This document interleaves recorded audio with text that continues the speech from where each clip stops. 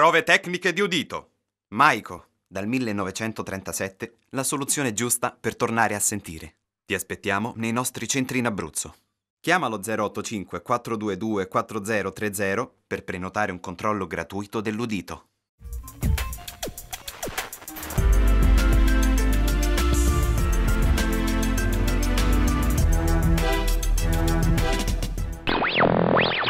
Dobbiamo un po' riscoprire quelli che sono i nostri sensi, farci aiutare da loro anche da un punto di vista metaforico, perché eh, appunto la vista, l'olfatto, l'udito, eh, il tatto e il gusto sono veramente fondamentali per poter superare questa crisi.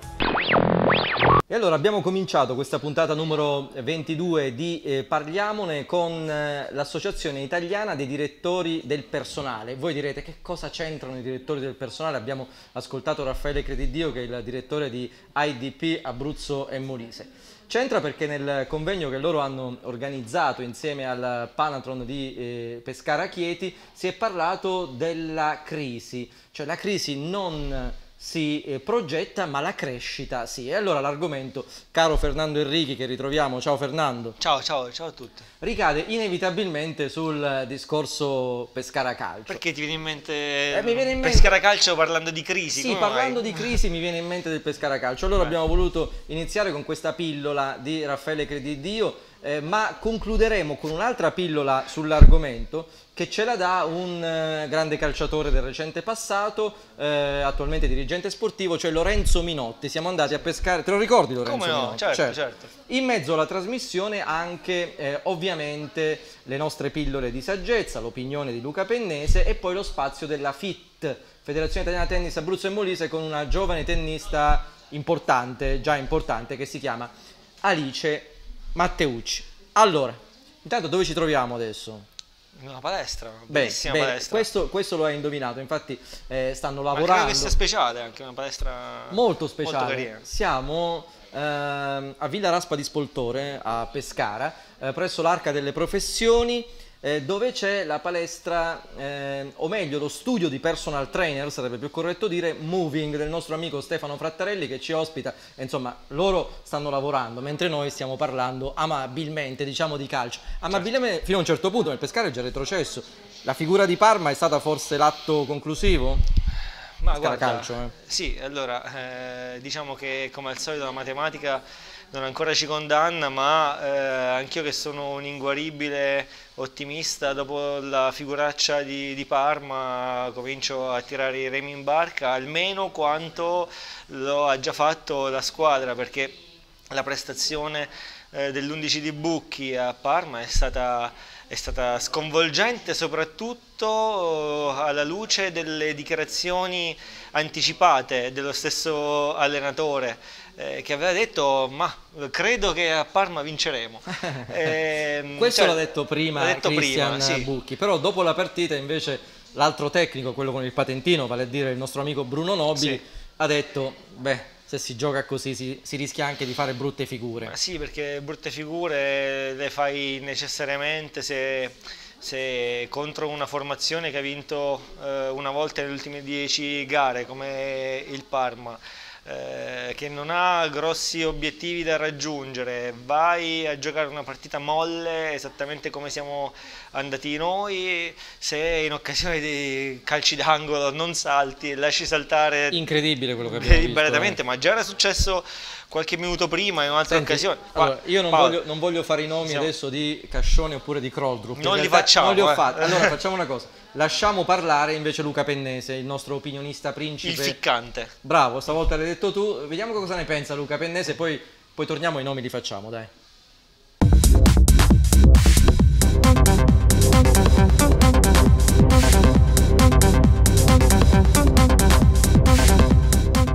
Dopo l'ennesima impresentabile prestazione del Pescara è meglio guardare al futuro per non farsi venire il mal di fegato. Allora magari qualche indicazione, qualche auspicio per quelle che possano essere le decisioni nella stanza dei bottoni. Il primo passo è quello del, dello staff tecnico, a cominciare dal direttore sportivo. Allora lì i nomi che sono stati fatti in questi giorni sono nomi importanti, soprattutto se poi verranno scelti eh, in una rosa di eh, pescaresi. Fabio Lupo e Luca Leone sarebbe una coppiata a mio avviso perfetta per ridare entusiasmo una squadra ad una eh, città mortificata dagli ultimi mesi in eh, Serie A. Il primo eh, ha indubbie qualità manageriali, il secondo capisce di calcio. In più entrambi hanno una specchiata eh, carriera alle spalle da giocatore, da dirigenti hanno fatto bene, sono persone per bene, il che eh, non guasta. Poi si potrà passare a scegliere l'inquilino della panchina. Dopo i disastri combinati nell'ordine da eh, Stroppa, Bergodi e Bucchi, sicuramente non si potrà far peggio. L'auspicio sarebbe in questo caso di puntare su un tecnico vero, un tecnico preparato che possa essere poi eh, determinante in fase di progettazione della squadra per cercare di cancellare le amarezze vissute quest'anno. Hai parlato però di futuro, il futuro immediato si chiama Juventus e anche per gli scommettitori di Eurobet potrebbe essere, chissà, una possibile sorpresa clamorosa. Onestamente ho visto soltanto la quota della Juventus, la cui vittoria è data 1,13, il che significa che per ogni euro giocato se ne portano a casa 13, decisamente pochi perché poi il divario tra le due squadre è abissale. Eh, è, quasi eh, utopistico sperare in un risultato diverso. Però poi il calcio qualche volta regala delle belle sorprese. Mi viene in mente quel 5-1 di un Pescara retrocesso in casa proprio con la Juventus. Chissà che non possa accadere il contrario. Di fatto, però, la Juventus quest'anno è, è una squadra di un'altra categoria rispetto non solo a Pescara, ma a tante altre compagini di serie. E quindi è estremamente difficile. Se dovessi dare un consiglio, direi di puntare su un over perché secondo me allo Juventus Stadium usciranno più di tre gol. È stato ficcante abbastanza Luca Pennese? Ficcantissimo. Ficcantissimo. No, allora facciamo un po' di nomi, ma sì. senza voler colpevolizzare qualcuno. Però, siccome gli errori sono stati davvero marchiani, no? Come si fa a lasciare completamente solo in area, ma più volte un difensore eh, come Benaluan oppure eh, un attaccante come eh, Amauri e parliamo di marcatori teoricamente che una volta erano implacabili come Krolldrup, ma anche giocatori che fino all'anno scorso avevano fatto bene come Cascione, io adesso ho fatto due nomi, in realtà bisognerebbe forse farne tanti di nomi. Beh guarda, cioè, mh, mm, mi viene da pensare che mh, mm, ormai non, non so. c'è lo spirito giusto per affrontare le partite e qua il problema è quello di rischiare di perdere le prossime, le prossime gare e di fare un punto solo nel corso del girone di ritorno mm. dopo averne fatti 20 all'andata. È una situazione che per me è incredibile, io non avrei mai pensato dopo quell'exploit che pure è arrivato in maniera eh, molto particolare a Firenze eh, di eh, oggi riuscire di, di, parlare in questi termini del, del Pescara. Oh, no, non siamo... so cosa dire sinceramente. Sì, no, in realtà siamo in, in uno studio di personal trainer sì. a moving. Ma in realtà si brinda lo stesso, più tardi brinderemo perché la nostra certo. bottiglia, guarda, allarghiamoci una, sta lì, eh ET, sì. oggi abbiamo portato ET, l'aperitivo fantastico che magari fa bene anche agli sportivi, non lo so, noi, noi ce lo auguriamo. Tutto può essere. Allora, Fernando, sui titoli dei principali giornali in questi giorni si sta leggendo che è quasi fatta per De Cagni, nuovo allenatore del Pescara, prossima stagione. Ma adesso si può dire è troppo presto, cosa. ci credi oppure no? Ma io ci posso anche credere, ma io ho creduto anche che era fatta per Zeman, perché fino a un po' di tempo fa era certo Zeman, c'era l'accordo, c'era la volontà delle parti di, di eh, rincrociare eh, i propri destini. Eh, adesso si può dire qualsiasi cosa, finché mm, c'è questo campionato in corso è bene, è bene operare in modo sotterraneo, quindi tutto quello che, che, ne esce secondo me a questo punto, visto che, visto che sono stati fatti molti nomi, eh, è, è, è, è, difficile da prendere sul serio un, eh, anche una società che eh, un giorno dice una cosa, mm. un giorno dice un'altra, beh, quindi non, non direi che è fatta per decagno. Sei pronto per andare a pillole di saggezza? Puoi rispondere anche di no, ma noi ci andiamo lo stesso perché eh, Luca Romano, che è al di là della nostra telecamera e che sta curando tutto quello che eh, è di attinente alla parte tecnica, ha deciso che bisogna andare a pillole di saggezza, ci sta facendo segni disperati con le mani, bisogna andare a pillole di saggezza perché oggi vogliamo intervistare Marco Cecamore, agente dei calciatori, agente FIFA poi abbiamo Paolo Renzetti, giornalista, esperto di calcio per tante testate giornalistiche e poi un appassionato di calcio che però è anche un allenatore, soprattutto un allenatore di pallanuoto come eh, Arnaldo Castelli della Original Marines Pescara Pallanuoto. Vabbè, vediamoci pillole di saggezza, poi ho da svelare un segreto che riguarda Fernando Enrichi.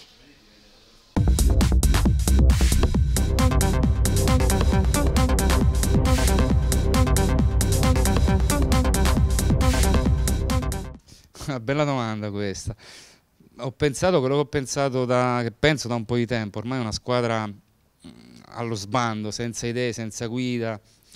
Eh, la sensazione è anche che tanti giocatori pensino già al mercato, al prossimo campionato e quindi cerchino più di tutelare le gambe piuttosto che onorare la maglia. Quindi una squadra ormai non... Ma ripeto, non è, eh, questa un'idea che non mi sono fatto guardando l'ultima partita, eh, da un bel po' di tempo. Quindi è una squadra ormai in caduta libera che non, eh, secondo me non entra nemmeno in campo ormai. Ma ho pensato che probabilmente è davvero finita, a furia di parlare di ultime spiagge, di partita della vita, di partita della disperazione, siamo purtroppo arrivati all'epilogo di una stagione che era iniziata male e che purtroppo sta finendo peggio, un Pescara senza mordente, senza, senza identità, una squadra eh, che anche a Parma purtroppo ha dato un'impressione di una squadra tra l'altro palesemente inferiore alla diretta avversaria che era un Parma che eh, nel giro di ritorno guarda caso aveva vinto una sola partita, dunque di fronte ad una squadra in crisi insomma il Pescara purtroppo ha, ha rimediato l'ennesima brutta figura. Non ho certamente avuto dei buoni pensieri, giocatori molli, senza grinta, senza carattere. Mi, mi spiace che dopo aver fatto tanti sacrifici, sofferto, Serie C per anni, insomma, buttare via la Serie A in questa maniera è una cosa un pochino eh, brutta se non sbagliata, anche perché insomma, la salvezza se ne salvano, ne retrocedono tre, insomma, altre si salvano, però non, non parliamo di salvezza, ma almeno di lottare fino alla fine con un po' di dignità e di impegno, quello forse sì.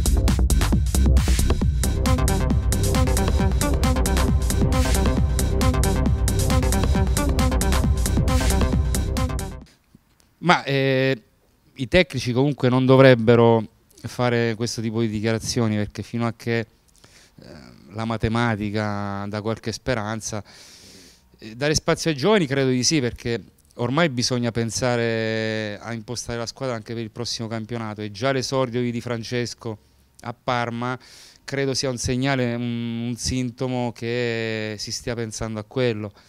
Eh, quindi è giusto così. Tra l'altro io credo che un'altra cosa che non mi spiegano, si dice sia infortunato o meno, ma quei pochi giocatori che abbiamo che hanno mercato, tipo Quintero che è diventato eh, un oggetto misterioso, credo debbano giocare perché comunque se vuoi vendere questi giocatori a fine campionato devi comunque per forza di cose farli giocare.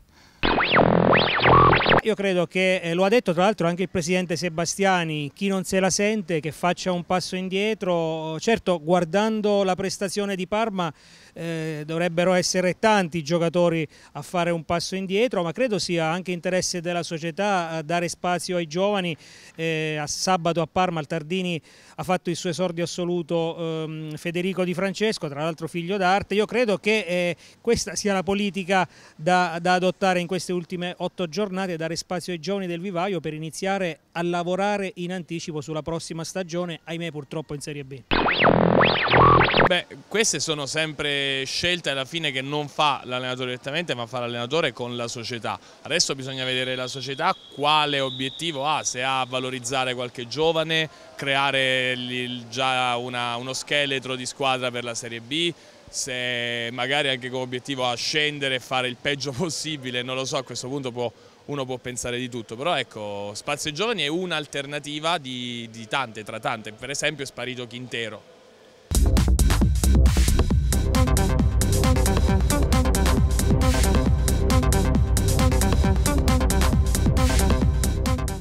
Difficile, difficile. Io vorrei, ma al di là del risultato, vorrei comunque vedere una squadra viva che va in campo almeno per, con un po' di orgoglio, per, eh, per difendere un po' anche l'orgoglio ferito dei tifosi, quindi una squadra che dia tutto in campo, poi è chiaro che non sono queste le partite dove, eh, dove il Pescara può pensare di, di, di, fare punti o di non fare figuracce, quindi niente, vorrei solo vedere una squadra che va in campo senza, scrollandosi di dosso un pochettino queste paure, questi timori che ormai non hanno più ragione di esistere. Io credo a questo punto giocare eh, sapendo di non avere nulla da perdere non solo perché eh, sabato prossimo c'è la Juventus, certo andare a Torino a chiudersi significherebbe andare incontro all'ennesima brutta figura ma direi anche ad una goleada come è stato nella partita di andata.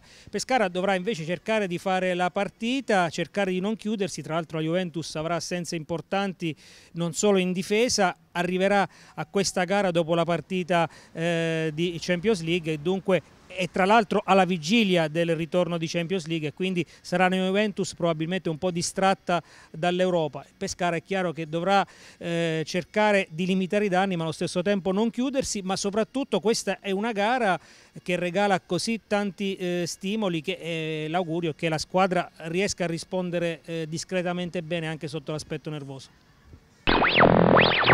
chiudere, al, chiudere, a chiave la porta dello spogliatore della Juve e non farli uscire perché potrebbe essere l'unica alternativa. Insomma, io spero veramente soltanto che il Pescara ci metta un po' di cuore e riesca a limitare i danni. Poi comunque la Juve non ha interesse a fare 10, 12, 15 gol a una squadra o anche 7, 8, anche perché torna dalla trasferta di Monaco. Insomma, tante cose a cui pensare la Juve è molto più importante del Pescara. Grazie Marco Cecamore, grazie Paolo Renzetti, grazie Arnaldo Castelli che insomma oltre eh, a darci sempre il loro eh, contributo sono davvero mh, degli amici, dei nostri amici. D'altronde parliamone, trasmissione numero 22 ma tutte le altre, anche le future, è una trasmissione fatta tra persone che noi consideriamo persone per bene, innanzitutto, e poi vogliamo anche della gente che capisce no, Paolo, dai, non dire così, a telecamere spente, hai detto male fino adesso, a Marco Cecamore. allora, no, no, Marco, non è vero. Fernando vorrebbe diventare agente dei calciatori come Marco Cecamore. Ma magari. È vero, hai questo sogno nel cassetto? Magari, sì, sì, so che è difficilissimo, però... Ci proverai, mi hanno detto. Sì, ci provo tra okay. qualche giorno, ma tanto andrà male. In bocca...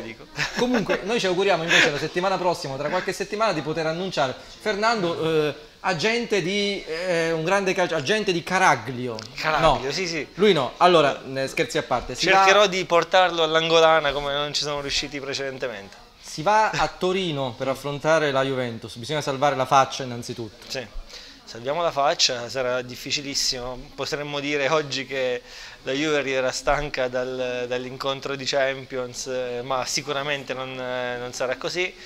Eh, andremo a fare le barricate se le cose andranno bene, perché il rischio è quello di imbarcare dal, dal primo minuto, perché sappiamo perfettamente come gioca la squadra di Conte, che a me personalmente non piace particolarmente, però credo che sia un un grande motivatore.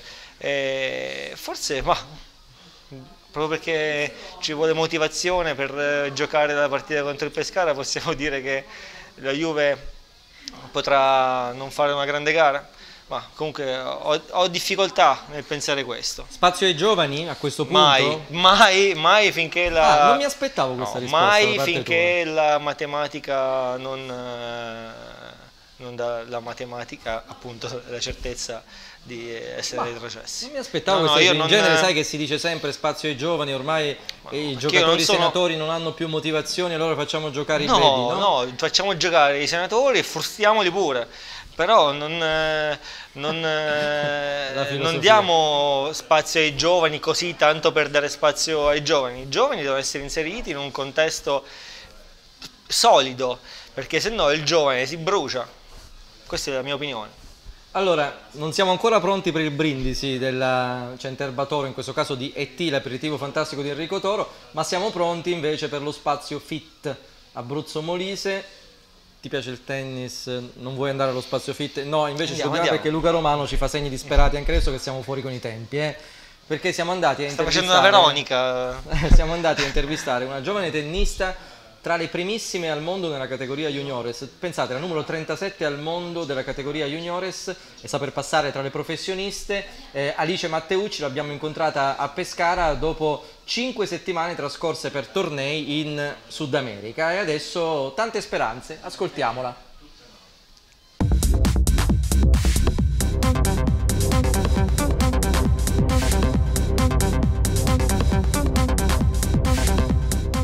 Alice Matteucci la vediamo bella bronzata perché sei reduce da cinque settimane in Sud America, non certo per vacanza ma perché la tua carriera tennistica sta andando sempre più a gonfie vele. Sì, posso dire di essere molto contenta di questa esperienza perché ho vissuto un'esperienza fantastica in Sud America facendo cinque settimane di tornei gradi 1 e 2 per, come obiettivo appunto di prendere punti per giocare tabellone Roland Garros e posso dire di essere molto soddisfatta perché ho raggiunto dei buoni risultati. Ecco, un nome l'hai fatto tu, insomma, Roland Garros, ma c'è anche Wimbledon, ci sono tante altre porte che ti si stanno eh, aprendo visto che il tuo ranking eh, mondiale eh, sta diventando decisamente interessante. Sì, ho fatto un passo in avanti qualitativo di gioco e di ranking in questo, in ultimo, in quest'ultimo periodo. E infatti ero partita da un ranking di 144 all'inizio del, della stagione, sono arrivata a 37 adesso, quindi mh, entrando tabellone a Roland Garros posso, come ultimo anno under 18 posso dire di aver raggiunto il mio obiettivo. Eh, pescarese, eh, diciottenne, eh, distanza a Bruxelles per un certo periodo, ma adesso ci sono altre prospettive ancora davanti perché la federazione sempre di più si sta accorgendo di quello che stai facendo, dei tuoi miglioramenti. Sì, adesso abbiamo, ho un progetto con la federazione a medio termine fino a settembre in cui mi andrò a allenare a Tirrenia che è il centro ufficiale appunto della federazione e farò i viaggi con loro, uh, gli slam con loro e si stanno interessando sempre di più a me quindi sono molto orgogliosa di questo. Naturalmente Alice Matteucci non dimentica le origini, il passato, eh, gli otto anni trascorsi qui agli albori no? con eh, Cesare Petrecca, con eh, tante persone che ti hanno supportato, nella parte meno luminosa della carriera, quella dove però si mettono le basi. Sì, certo, Cesare è un grande amico, è stato il mio primo allenatore, naturalmente lo sento e e mi ha sempre supportato, come anche il Circolo Tennis Pescara con uh, Iezzi, Gian, eh, eh, Marcheggiani, insomma, sono tutti, mi fanno un grande tifo, lo sento. Possiamo chiudere con la domanda più banale che ci viene in mente in questo momento, a chi ti ispiri? Dice Alice Matteucci, chi ha come idolo?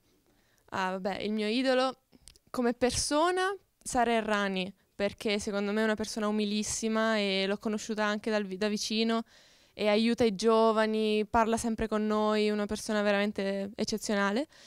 E nei, mh, mm, a, all'apice proprio credo Mar- cioè, Maria Sharapova, secondo me.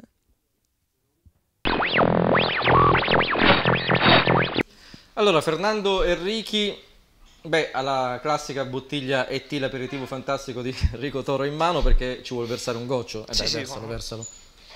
Versalo. Guarda con eh, quale perizia. Però eh, non troppo, perché io bevo con moderazione, dovresti farlo anche tu, anche se eh, T l'aperitivo fantastico naturalmente ha una gradazione abbastanza bassa. Leggera, sì. Il brindisi lo facciamo, però io vorrei fare il brindisi con la destra, tu certo, sai che sono ecco, scaramantico, aspetta, eh, non fare questi movimenti difficili. il brindisi lo facciamo, in questo caso a Fernando Enrichi. Oddio. In bocca al lupo a Fernando Enrichi affinché anche lui possa eh, laurearsi, si dice così, agente FIFA dei calciatori. In bocca al lupo Fernando, si dice crepi, eh? certo. beviamo. Bene, e per il ruolo di direttore sportivo del Pescara della prossima stagione hai preferenze? Um, eh, ti, ti, ti, trovi allora, spiazzato? Dire? Eh, allora, Fabio Lupo non mi dispiace.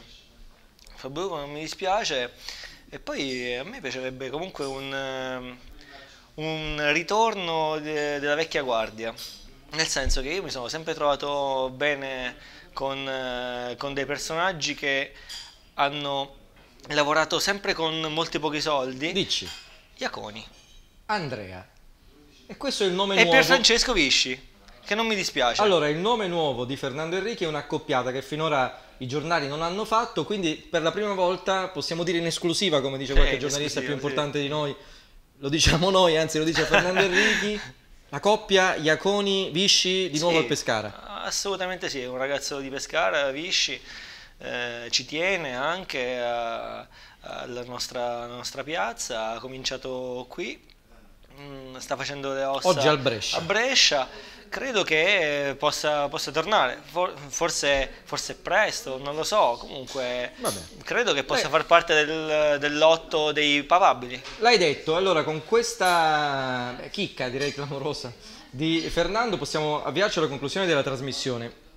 Parliamone, potete seguire la nostra rubrica sul canale 16 del digitale terrestre, Telesirio, il giovedì alle ore 23 circa e il venerdì alle ore 13.30 circa, mentre Fernando continua a bere, eh, a bere stessi giorni, stessi orari eh, su www.abruzzo.fm, quindi anche sul web. Tutte le trasmissioni sono archiviate su YouTube presso il nostro account La TV Lab e condivise sui principali eh, social eh, network come Facebook, Twitter, eccetera, eccetera. Concludiamo con un'altra esclusiva, ve l'ho detto, il convegno dell'Associazione Italiana Direttori del Personale insieme al Panatron Chieti Pescara. Eh, la crisi non si può progettare, ma la crescita assolutamente sì. Il tutto rientra davvero molto nel campo sportivo e allora eh, ci siamo voluti intrattenere con Lorenzo Minotti, ex calciatore del Parma, del Cesena, del Torino, anche della Nazionale con eh, Arrigo Sacchi e oggi dirigente sportivo. Concludiamo in bellezza, grazie a Luca Romano, grazie a Moving eh, per l'ospitalità. Ci vediamo alla prossima puntata. Ciao. Lorenzo Minotti, eh, uomini e non giocatori, uomini prima che giocatori, cosa ti diceva Sacchi quando giocavate? Ma sicuramente Sacchi credo che sia stato uno dei primi eh, allenatori che oltre alle qualità tecniche, tattiche e fisiche di un calciatore guardava anche le qualità morali, qualità personali, proprio perché eh, dietro al, al, professionista c'è sempre una persona, c'è sempre un uomo con eh, le sue qualità e le sue debolezze e quindi l'importante è diciamo, anche allenare quelle che sono le, le competenze per, eh, personali, relazionali eh, di un individuo perché poi se se la persona è a posto anche il calciatore renderà e giocherà meglio. In un altro intervento che ti ha preceduto, il professor Patrizio Ripari ha parlato anche del valore eh, della sconfitta. No? Nello sport eh, si perde, ma da quel punto si comincia a vincere, se si è uomini però. Sicuramente perché la sconfitta, come diceva il professore, credo che faccia parte del, del gioco ed è impossibile non perdere mai e molte volte la sconfitta non arriva neanche per caso, se sei bravo a fare analisi, a capire quali sono stati i punti di debolezza, quali possono essere i punti su cui lavorare e migliorare, credo che dal di lì eh, si possa ricostruire le fondamenta per ripartire e diventare più forti e, e spiccare il volo verso gli obiettivi che uno si pone, che sono sempre nell'ambito sportivo raggiungere il massimo. Non vengo bene questo profilo, andiamo con quell'altro. Non mi inquadrerei il bubone.